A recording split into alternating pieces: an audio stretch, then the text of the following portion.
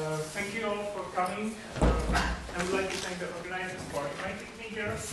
And I hope I will tell you something interesting. So, what is my motivation? My motivation, or not only my motivation, is to understand uh, the geometrical content of, of this little simple uh, effective theory, where it's, it's just an effective action for string, where uh, our fields are uh, metric, two form, which is usually called a B field, and a scale field, which is called usually a dilaton field. Uh, for me, I use slightly generalized version where h prime is sum of h, which is some closed free form, and dv. Uh, so it's, it's just a type 2 supergravity where you forget about uh, any fermions and all Ramond-Ramond fields. And the main idea, the main idea, the geometry behind this, this action is this idea to generalize the concept of, of, of Levi-Civita connection. So of course I'm not the first, uh, we are not the first ones with Branyo who thought this. There's plenty of papers exploiting this kind of idea. For example, you know, Congrats, Chicken, Gustavo Waldram, who describes supergravity as generalized geometry, also, also some things from M theory. Uh, on the side of double field theory, of course, it's one of the most important things in double field theory, and in particular, we are inspired by work of Hohm and Zwiebach. And also, the, the closest to our closest to our interpretation, Garcia Fernandez, who modified these ideas in, in this paper uh, to include also the heterotic supergravity. And what I would like to show you is that actually not only the geometrical description exists, but it can be actually used to, to derive or, or understand some, some intriguing things which are happening with these kinds of actions. So I hope. And the, the, the, the, center point of, of, of our approach is, is something which is called Courant algebroid. So, so most of you probably know what Courant algebroid is, but let me remind that Courant algebroid is a combination of four things. So first of all, you have a vector bundle. You have a morphism, vector bundle morphism from E to vector field. You have some, some fiberized metric on, on your E, so you have metric on each fiber.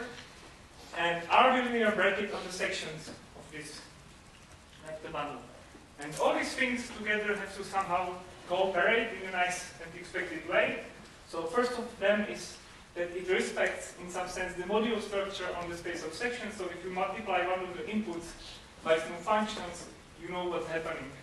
And you exactly use this anchor map to, to handle to handle this this expression. So you have a vector acting on a function here.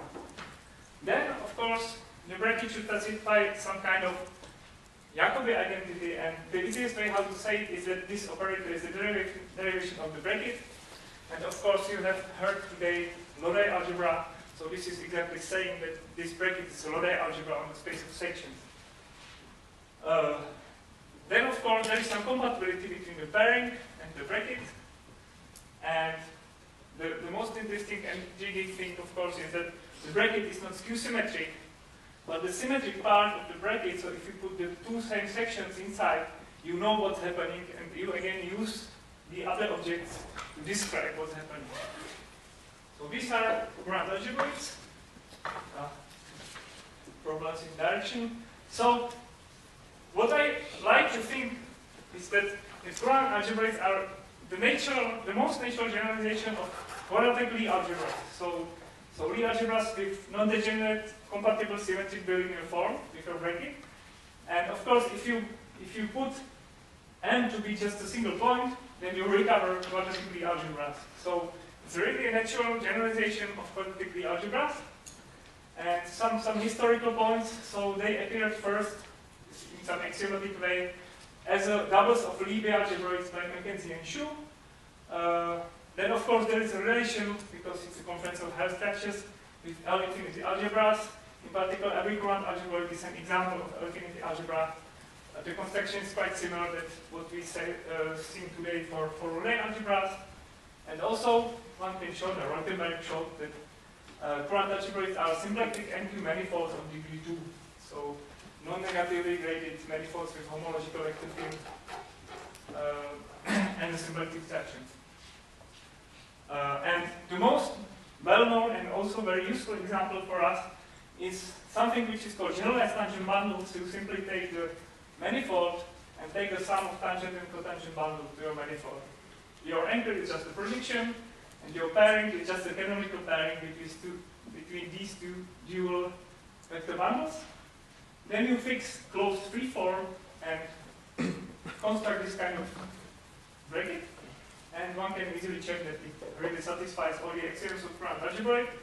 And uh, one, one technical note that geometry of this generalized tangent bundle is usually called generalized geometry. So, so that's, the, the origin of the word generalized geometry. And for these reasons, it's also called generalized tangent bundle. But it's just the geometry of this kind of uh, vector bundle and all of its you know, modifications and generalizations, etc. Okay, and on every Courant algebroid, there is a natural object which always exists there, which is called usually generalized Riemannian metric, or just generalized metric, the bracket should be here. And it's a, it's a choice of maximal positive subbundle of your vector bundle with respect to your pairing. And if you choose such a bundle, you can take orthogonal complement to it with respect to this pairing, and you obtain a direct sum decomposition of your vector bundle. And in fact, then you can define an involution such that V plus is, is plus one eigenbundle, V minus is, is minus one eigenbundle, and then you can define another fiberwise metric which uses this tau, which in fact always defines your positive definite fiberwise metric on E. So, so generalized metric is a special kind of positive definite fiberwise metric which is compatible with your original pairing in this set. And what is, what is good, as I said, on every vector bundle where, where E is a vector bundle and this is a fiberwise metric, there exists a generalized metric. Up to some technicalities like you have to take connected component of the base, and on each connected component you can construct one. And also, also the orthogonal group, so, so morphisms which preserve your metric, they act transitively on the space of generalized metrics.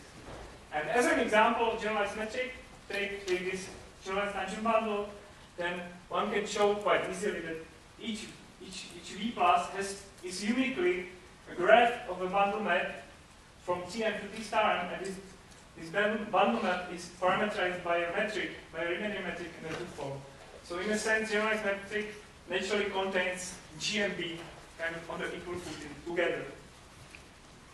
Uh, and last note, one can also show that uh, one can also show that existence of generalized metric is equivalent uh, to, to, the statement that you can always reduce the structure group of your vector bundle with the metric OPQ to OP times OQ, where P is dimension of P plus Q dimension of P minus.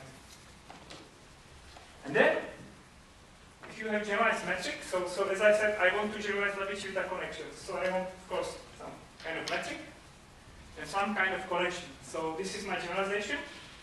So I take a map, which is our linear map, from sections times sections to sections. Then I, of course, define a covariant derivative operator along every section. And I force it to satisfy two axioms, which are completely natural. So first of all, if you multiply by f the second input, you know what happens. You again act as a differential operator on f by rho of psi. And then you can take out, take out smooth function out of the first input with no penalty. And of course, because Courant algebroid always contains the metric, you impose the condition that this, this connection has to be compatible with your, with your Courant metric, which you always have on Courant algebroid. And this is called Courant algebroid connection. Uh, there always exist some Courant algebroid connections, in particular because you can simply construct some vector bundle connection which is compatible with your metric. This can be always done by partition of the unity arguments.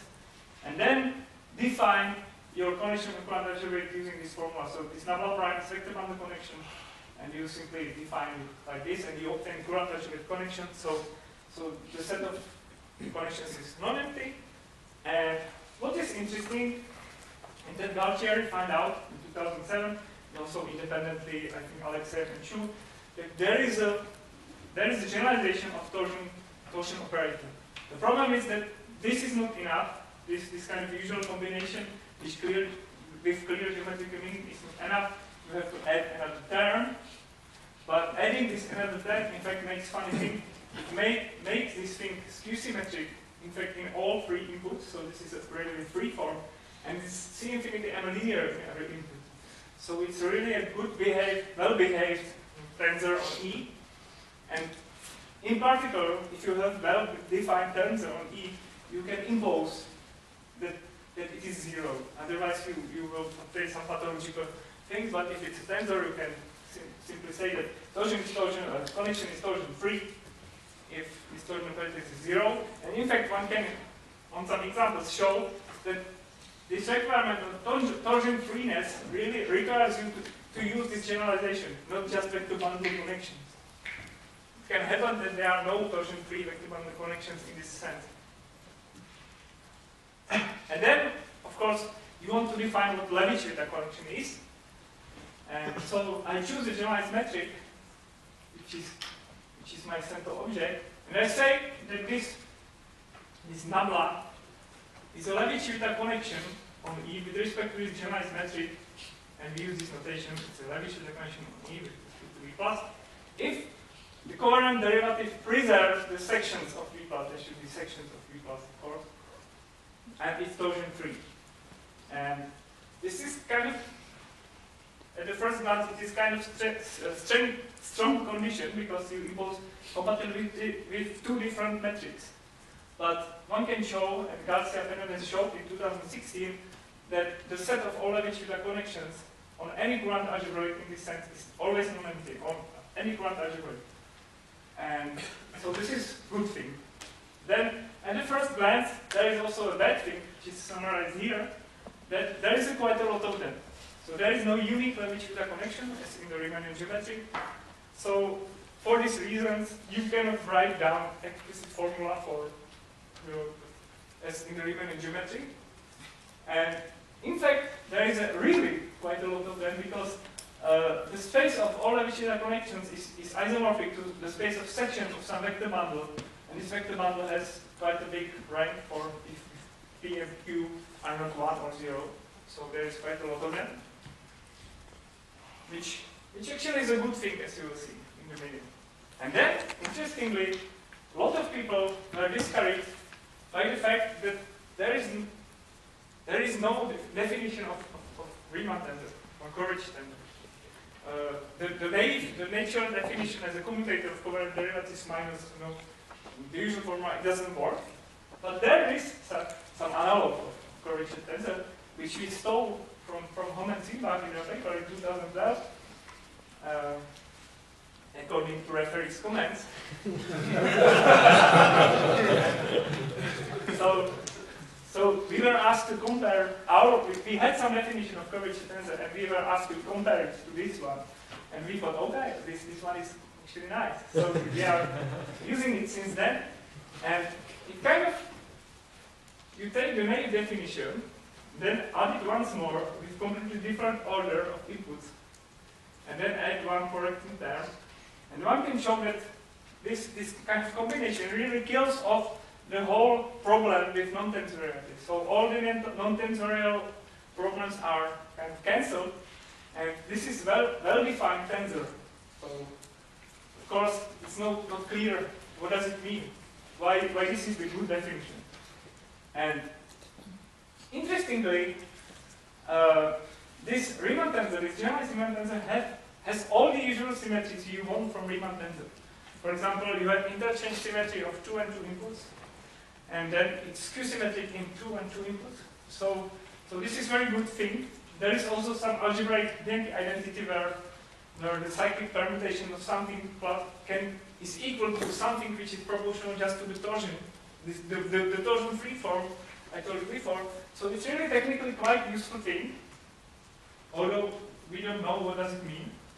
But I told you there's enough symmetry so that you can define Ricci tensor as a tensor on the whole, whole E just by taking trace into, into inputs.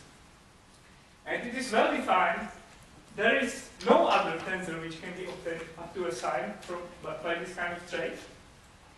It's symmetric. So it's a symmetric tensor well defined on whole E. So technically very good thing. And just the terminology, we say that this, this connection is Ricci compatible with your generalized metric if this Ricci tensor is block diagonal with respect to this decomposition on V plus on minus.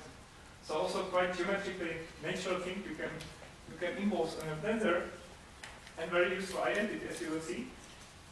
And of course because we now have a tensor which is defined on whole E, is a symmetric tensor, you can do the trace of this tensor. So we obtain very naturally, very easily, a pair of scalar curvatures. So first of all, we can we, raise one index uh, using using uh, the Courant metric. GE is this wedge wedge E metric. And then you can also raise the index using the generalized metric, the, the positive definite one you have from the definition of generalized metric. Uh, and now there is very nice observation. If you if you have two two connections, two Levi-Civita connections with respect to, to the given generalized metric, which have the same divergence operator. So divergence operator can be also defined by naturally. This is a defined operator which takes a section and gives you a smooth function. And then if the two Levi-Civita connections have the same divergence operators, then these scalar curvatures are the same. And the off diagonal blocks of the Ricci tensors are also the same, completely the same dimensions. and there comes the, the, I know, the most important thing. Uh, so, sorry, can you go back one slide? Sure. So, uh, somewhere you said that the Ricci tensor is zero on plus minus. Uh, I, no, no, no, it's a property of the connection, and I say that the connection has the Ricci compatibility property if this is true. So not, not for all connections, this is true, of course. I say that the connection has this property of Ricci compatibility if this so, is true. So is that a, something you use at some point, that concept? Yeah, I will, I will, it's just, just here, you will see. Okay. Okay, so this is this is some, some, some observation I take. Generalized generalized tangent model, Tn plus T star n, with h twisted Dorfman bracket, where h, is arbitrary, close V4. And as I told you, I choose generalized metric, and each generalized metric corresponds uniquely to a pair of G and B. So I have a connection, and I take a Levi-Civita connection, and I impose on this connection some additional condition on its divergence. So this is another you know, I, I force another condition on my, on my connection, and I want my divergence operator to have this special form, where phi is a scalar function. So, and we then write that Nabla is part of this small, this is a subset of, of this, this, this guy here. Good thing is, again, there exists for every phi, for every phi, and for every plus, there exists connection. From, this set is again non-empty. And then the main statement, the theorem is that if under these assumptions, these backgrounds, GB, which are them in, in generalized metric, in phi, which is here, here in the divergence condition, then this triple satisfies the equations of motion, or solves the equations of motion given by the action S I started with on the first slide. If I only if this scalar curvature, this, this, this, this one is zero, and my connection is Ricci compatible with plus. So if this this is zero. So this is theorem kind of telling me how to interpret geometrically the equations of motion for for the uh, low energy effective action with, with G and E and phi. Uh, by this observation, also note that this statement kind of doesn't depend on which, which, which particular connection I choose from this subset. Because if I fix divergence, then this, this quantity is unique, this quantity is unique, and also this quantity is unique. In fact, in this case, non-controlling is always zero. And here it is. This is always zero. And what is, what is good about this, this description is that it behaves as expected under Courant algebroid isomorphisms. So it's kind of covariant, covariant in this sense. So if you have two Courant algebroids, connections on these Courant algebroids, you have generalized metrics on these Courant algebroids, and all of these objects are related by the isomorphism. So, for example, the metric is, you know, the, the, the, your isomorphism preserves the generalized metric, and your isomorphism preserves the connection, then these quantities, in particular the equations of motion, are completely invariant, uh, covariant, sorry, covariant in this sense. For example, they hold for the one connection if and only they hold for the other connection. okay, so this is the main, the main observation, the main claim, how to describe the equations of motion. And we said, okay, let us let us use this to our advantage somehow. And we started with something of, of Kaluza-Klein reduction type observation. So we, we assume that we have a principal G bundle with a compact Lie group. Uh, we denote by this its adjoint bundle. Uh, it's non-negative definite Killing form because we assume that our Lie group is compact, so this is a neg negative definite uh, symmetrically linear form.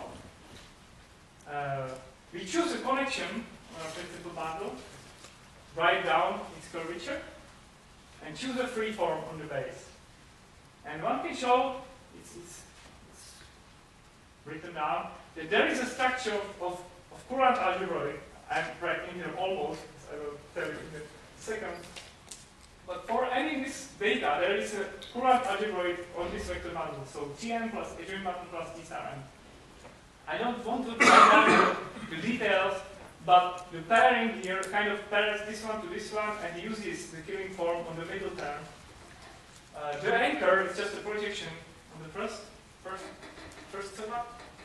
And the bracket, the, this is the most complicated thing, the bracket kind of combines H0 twisted Dorfman bracket together with the Atiyah algebroid bracket of Tm plus Gp. Tn plus Gp is, if you choose the connection, is, is isomorphic to Atiyah algebroid. So you know what the bracket looks like, and you kind of mix those together to obtain a bracket on this, on this vector bundle. And I was saying almost here, because this structure is Courant algebroid if and only if, or Jacobi identity holds if and only if this condition is satisfied.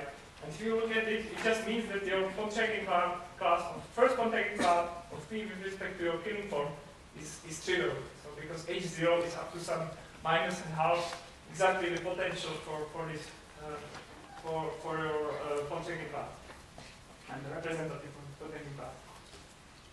But in fact, almost Courant means that just the Jacobi identity doesn't hold, otherwise everything works. And we in fact don't know, uh, sorry, we in fact don't, do not need Jacobi identity to hold for a Courant algebroid.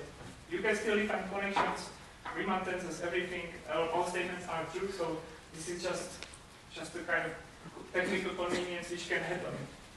And then of course you can choose generalized metric on your on this Courant algebroid and again show that it uniquely corresponds to a, now a triple of things.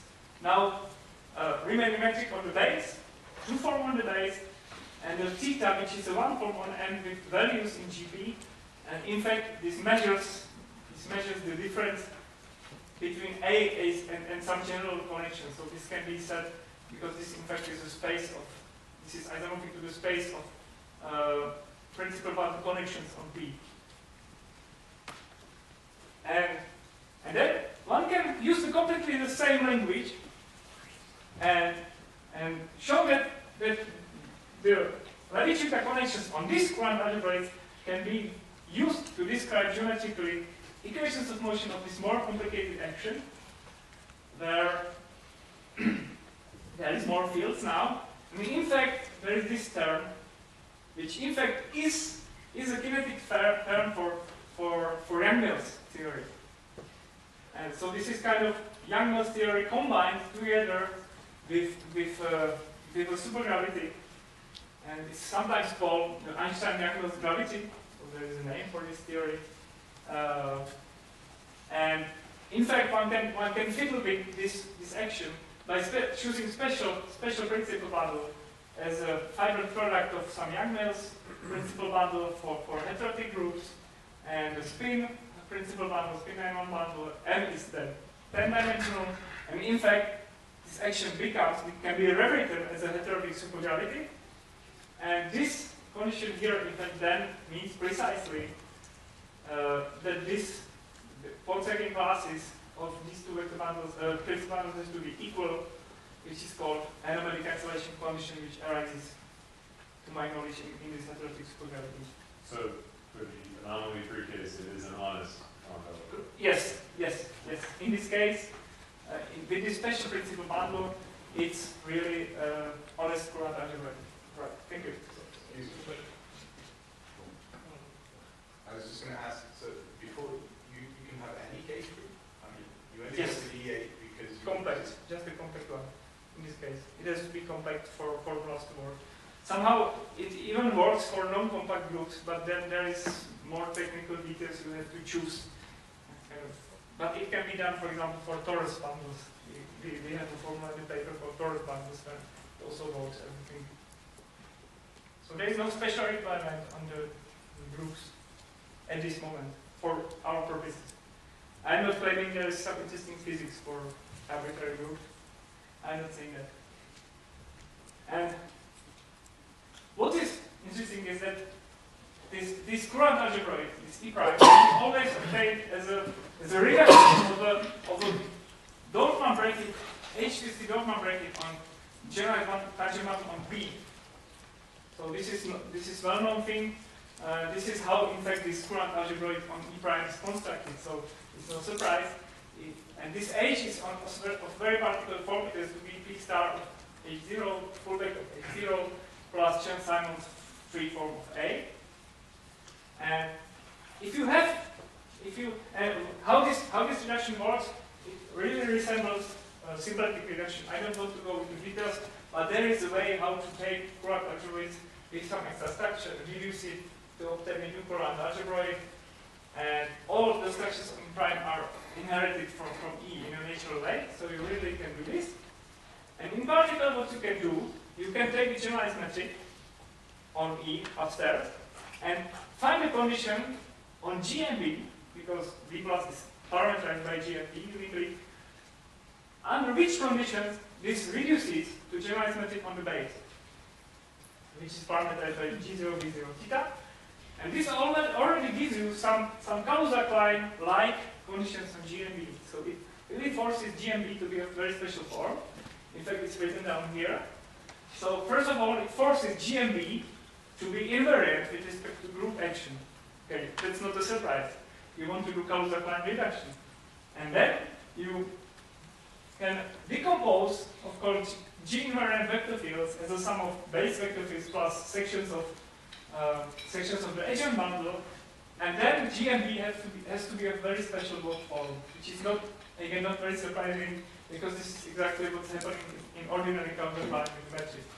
This is exactly, if you replace 1A, 0, 1, it's exactly what you obtain in ordinary counterpart, so it's not a big, big surprise, but you obtain also some condition on the B field at once here. Can you just go back one slide, because I'm, I'm interested. So when you say symplectic reduction, is that like the Marsden-Weinstein reduction using a moment? Uh, no, no, no. This is the more, more general using um, coisotropic uh, submanifold. So you take, this. yeah, this kind of thing. Because you basically take some subbundle and take its orthogonal complement and portion out uh, the kernel of the kernel of the form, which is exactly this guy here. to again obtain something which is non-degenerate. In fact, because as I told you, Courant algebroids in fact are symplectic manifolds. Yeah. Uh, this is exactly the symplectic reduction. So then, but is this symplectic reduction still symplectic? Yes. Yeah. Because you obtain a Courant algebroid, so it has to be a current manifold. Okay. And then, having this in mind, uh, we, we try to examine the, the, the connections. So you take the, you examine the whether some connection, Levi-Civita connection upstairs can be reduced to Levi-Civita downstairs. And the answer is yes. There is a pair of connections, one upstairs, one downstairs, where there should be phi zero here. Your dilatons are simply, your dilaton is, is a G-invariant function, again quite a natural, natural assumption of your dilaton field. And then this, this connection naturally reduces to, to nabla prime. I don't want to say what means naturally reduces, but if you look what how the reduction looks like, it really reduces naturally. And then one can show, because this is true, that nabla is Ricci compatible with V plus, if nabla prime is Ricci compatible with V prime plus, and the scalar curvatures are related by this very simple formula. There should be plus here, sorry, a lot of typos, plus here. And this gives us a theorem, which we call Kaluza-Klein reduction. So if GB and phi have this special form, which is written here, and G0, B0, theta, phi 0 are the fields downstairs, uh, then there is some strange relation because there is some non-trivial curvature of the connection coming up, so you have to relate somehow. You have to add cosmological constant to your action upstairs, or put it to zero, and then you then the nabla zero has to be minus one six dimensional g. Then the equations of motion for the action as upstairs are equivalent because it's written just here. It's written just here. Uh, are equivalent to, to, to those downstairs. So, for example, the equations of motion of heterotic supergravity can be obtained from types of supergravity upstairs in this principal bundle if you impose this special kind of symmetry on GB and phi. And just a note, of course, reduction of Courant algebroids is quite old thing, and it was discussed in super detail in Pushkin, Cavalcanti, Gualtieri, Baraglia, and Hekmati. This, this is where these heterotic Courant algebroids are very well described also in the Ševera paper in 2015.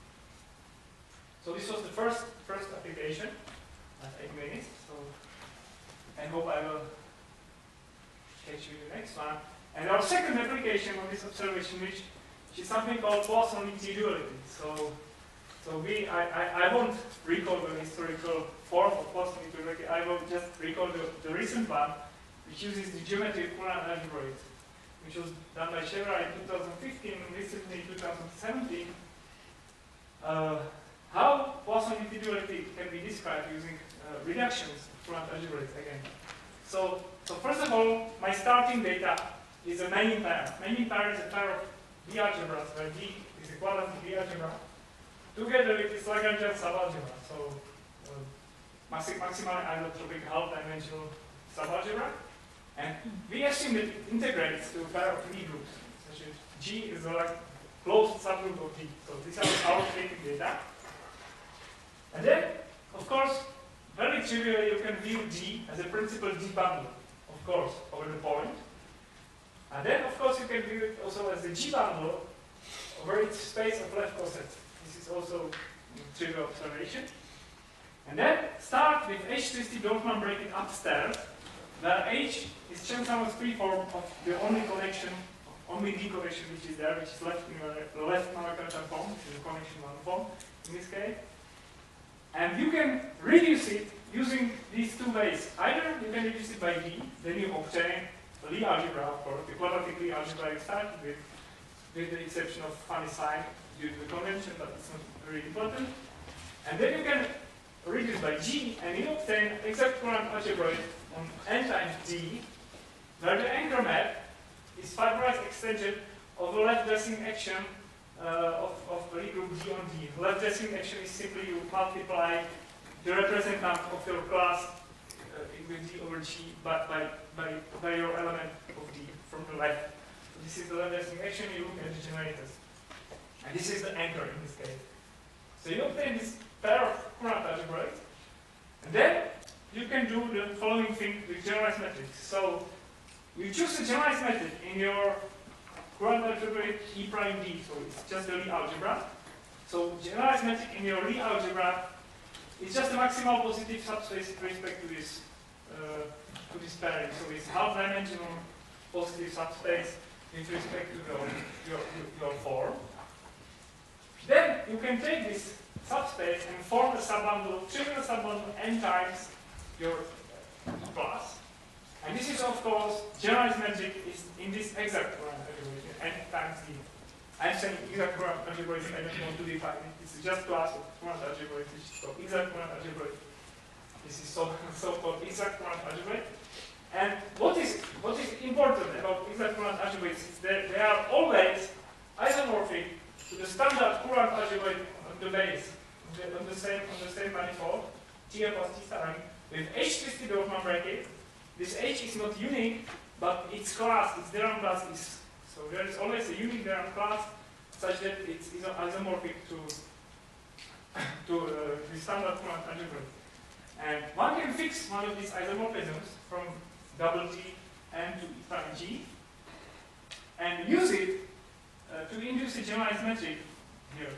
And generalized metric here is always a pair of GMB. So you obtain a pair of background GMB and also H, don't, don't forget about H, so you have GB and T, GB and H, and you can you can form sigma model with best Milovic term targeted uh, in this in this coset space using this background GB and And the claim, the claim of Poisson integrity and what, what Poisson integrity is that if you fix this E plus in D, then you can basically choose any Lagrangian subgroup G, and all the models are in some sense equivalent. And in particular, if you if, if your Manin pair is actually Manin triple, I don't want to say what Manin triple is, but if you have a Manin triple which integrates to the triple of Lie group, so you have two subgroups G and G, G, G star now, then in fact if you interchange G and G star, this is some this is this is the original Poisson integrity of Klimčík and Ševera from 1990. And we we said okay, so so we should verify this on the quantum level, right? So so can we somehow compare the effective actions of the two theories?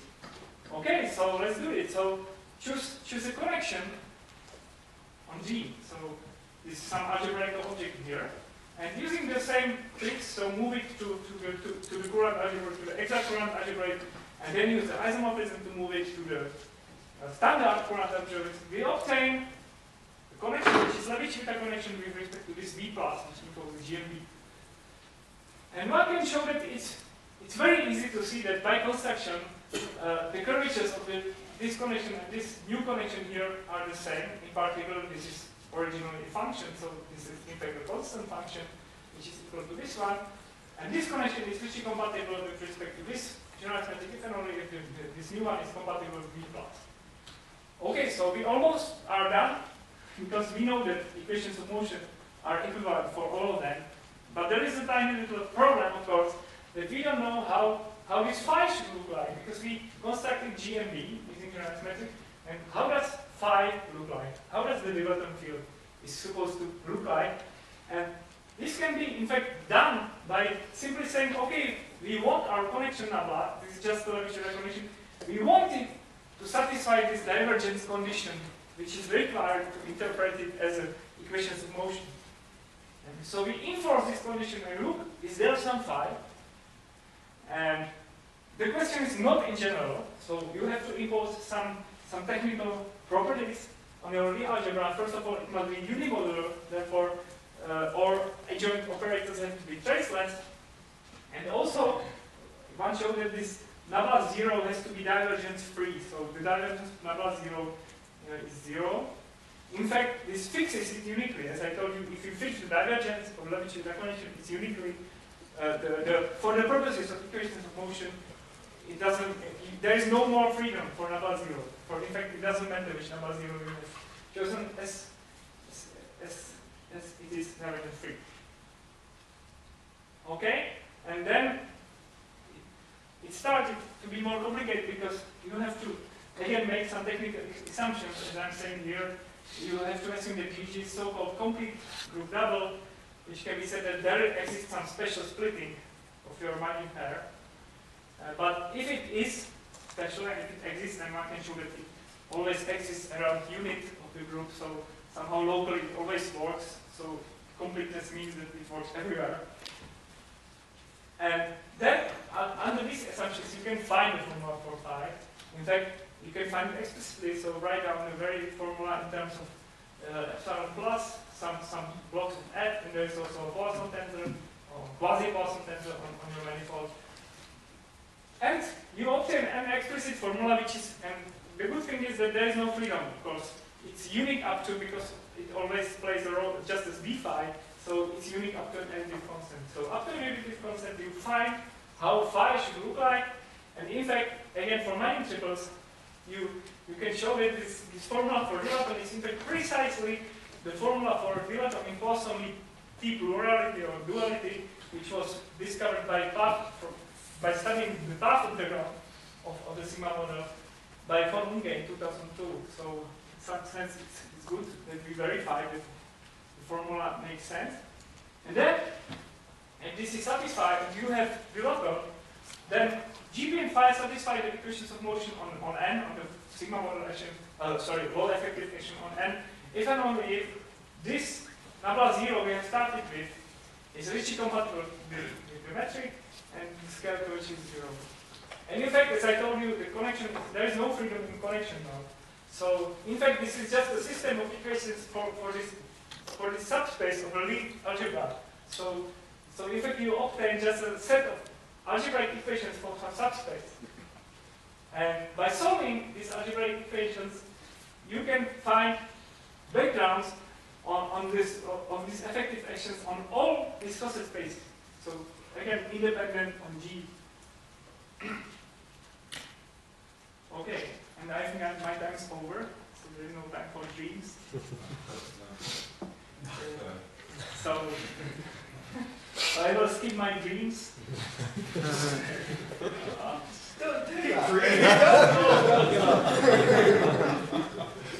Okay, so I will really one minute, one minute. So, so the problem is that that we have no really good non-trivial examples solutions of these equations, which is kind of stupid.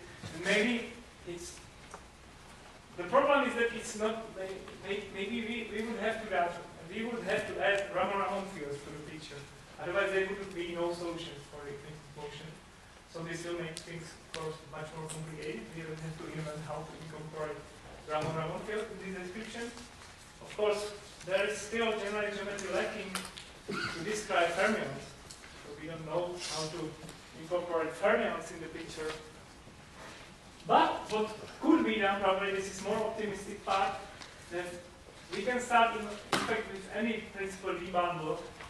And this is also how, uh, how Pavol formulated this to it for, this can be done for any kind of uh, setting where you have principal D bundle, not just D. And then you obtain a kind of this kind of triangle which hides a lot of interesting geometry. In particular, there are some, the reductions of Courant algebras give you some nice relations between characteristic classes. Uh, the free form here, free form here, free form here.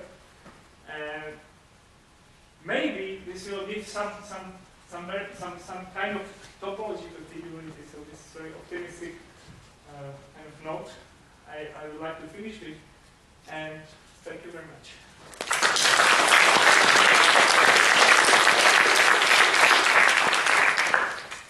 Any questions? Yeah. Sure. Uh, so my question is like um, from right from the start, it was like equation 13. You have this uh, condition that you had for the dilaton field or something like this. Uh, you mean the equation? How does dilaton has to look like? From, or you mean this? Right from the start, I mean, like there was You, this. I, I, no, divergence You condition. mean this one? Yeah, yeah. Could you maybe comment on like what that means? Like, is there a geometric way to think about this? Like, No. Uh, no, to be honest, Yeah. this equation was obtained Right. by, by the following trick. we, we looked at all the Richita connections, right?